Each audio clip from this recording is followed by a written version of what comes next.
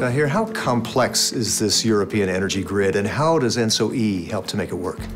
Well, I would say it's the biggest technical system in the world, the biggest machine a man has made. Uh, if you take all our wires, you can circle the world seven times.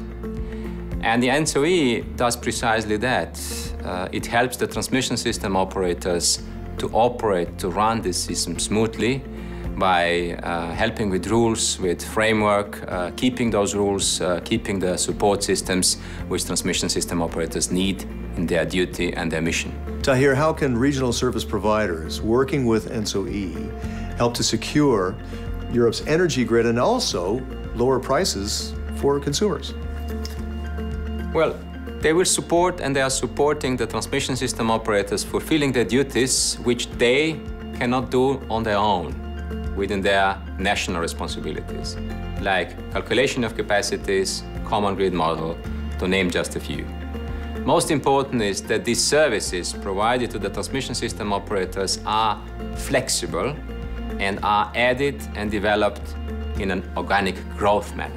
And with an ever-increasing share of renewable energy, how can regional service providers and ENTSO-E help to strike that balance between energy produced and energy consumed? Precisely by this handling of volatility which is induced in systems with this kind of generation by having good forecast, helping TSOs to conduct regional and uh, local operation security analysis, and most of all with uh, pan-European one and common grid model. And why does a country like Austria, your home country, need ENTSO-E and regional service providers?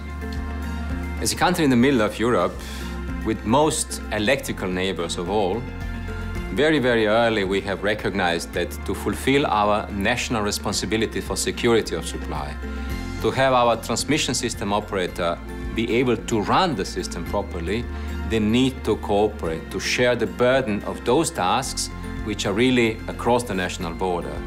So as a founding member of one of the regional service providers, I would say that we couldn't prepare the operation of our grid, run our operational planning without regional service provider.